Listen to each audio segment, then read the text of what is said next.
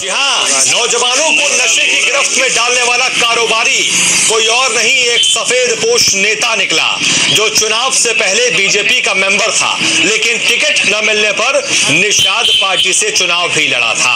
وہ ہندو خبر پر خبر دکھائے جانے کے بعد ایس پی نے چھاپے ماری کر گینگ کے مکھیا وردھن سن کر اس کے مینیجر اور ڈرائیور سمیت چار لوگوں کو گرفتار کر لیا ہے۔ اس چھاپے ماری میں بارہ کلو گرام یعنی بارہ لاکھ کی قیمت کا گانجا بھی ضبط کیا گیا ہے۔ ایس پی نے ہندی خبر کو ہے اور جلد ہی سٹاکسٹ کو گرفتار کرنے کا دعویٰ بھی کیا ہے۔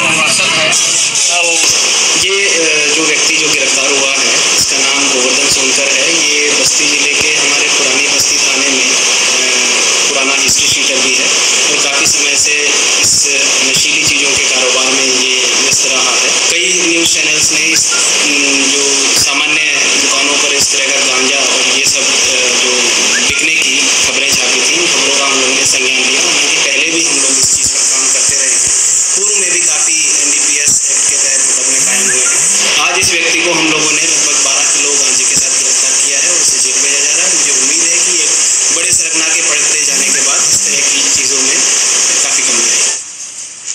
لیکن ہم یوں ہی نہیں کہتے ہیں۔ خبروں کا مطلب صرف ایک، آپ کا اپنا چینل ہندی خبر۔ فی الحال اس بلٹن میں اتنا ہی۔ دیش دنیا کے بارے کی تمام بڑی خبروں کو دیکھنے کے لیے آپ دیکھتے رہیے ہندی خبر۔ نمسکار۔